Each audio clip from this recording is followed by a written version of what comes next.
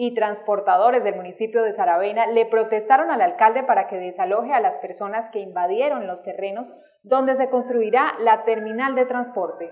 En el municipio de Saravena, los transportadores protestaron frente a la alcaldía de esa localidad para exigirle al alcalde que desaloje a los invasores del terreno donde se construirá la terminal de transporte. Está el gremio de transportadores en este momento movilizados, eh, haciendo un plantón frente a la administración municipal, eh, reclamando eh, se exija la desocupación del lote que fue invadido, que es el lote para la construcción del terminal de Saravena.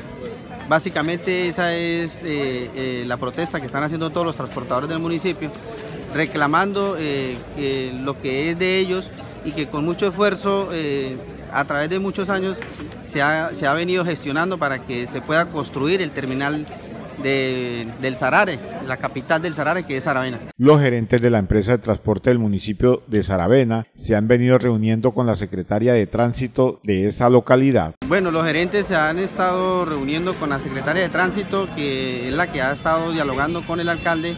El alcalde solicitó un plazo hasta las 4 de la tarde y es eso lo que están en estos momentos esperando a que se dé esa respuesta por parte del alcalde Yesí Lozano a ver qué, cuáles son las, decisiones que él va a tomar frente a la situación.